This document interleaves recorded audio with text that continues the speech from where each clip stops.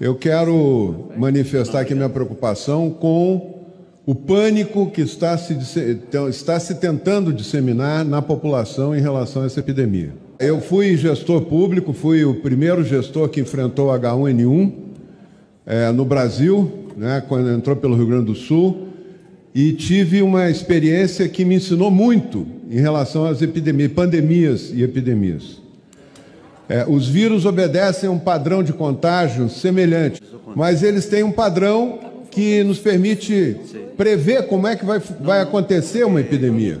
Está-se dia e noite, através de meios de comunicação, transmitindo para a população um quadro gravíssimo que vai acontecer e que provavelmente não vai acontecer. É, mas está se assustando muito a população. E com isso está se tendo um impacto grande na economia.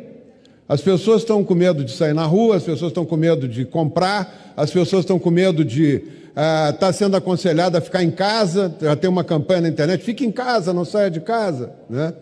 E eu quero dizer que isso não vai interferir no, na evolução da epidemia. Suspender aula não muda a evolução da epidemia.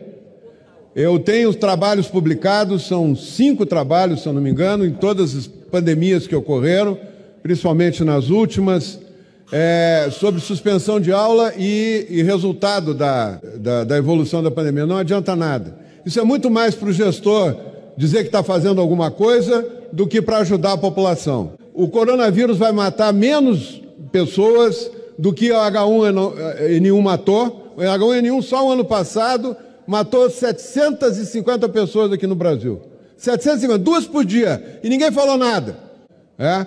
Essa epidemia ela está agraçando com mais intensidade nos países frios, nos países quentes ela vai ser mais branda, é, tudo indica que será mais branda. Parece que a Itália toda está tá dominada pela epidemia, não é verdade. O, o, o, risco da Itália é uma região da Itália, que é a Lombardia, onde se somou uma epidemia de H1N1 com a epidemia do coronavírus, e onde tem uma população idosa enorme, maior que a do Japão proporcionalmente à população da Lombardia. Então são coisas muito específicas.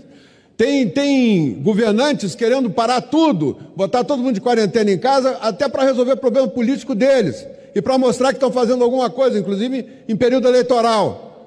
É, sem, tem que ter comitê científico, tem que ter pessoal que, que uh, os infectologistas, os epidemiologistas, orientando os prefeitos, os governadores. É um absurdo fechar shopping, é um absurdo fechar, é, proibir transporte coletivo a economia vai quebrar, a recessão vai ser muito pior que essa epidemia, vai causar muito mais dano para a população que essa epidemia, que vai terminar logo. Em 12 semanas, 13 semanas terminou tudo, mas a recessão vai durar 5, 6 anos ainda, e muita gente vai empobrecer, ficar na miséria, por causa do alarde, do, do pânico que está se instalando na população, que aí justifica tudo.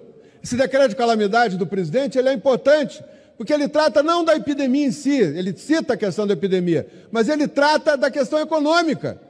Nós temos que nos preocupar se a epidemia termina logo, ela tem um ciclo. Quanto mais gente. É, a epidemia termina quando uma boa parte da população está infectada e não tem sintoma nenhum. É assim que termina a epidemia. É, então nós temos que entender essa evolução. Nós temos rede, o ministro Mandetta está agindo com toda a correção tem toda a cobertura para atender, está cuidando disso, para atender a necessidade.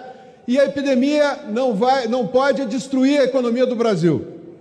Eu, eu lembro de novo o que aconteceu com a H1N1. Nós mantivemos toda a atividade econômica do país e não, isso não alterou em nada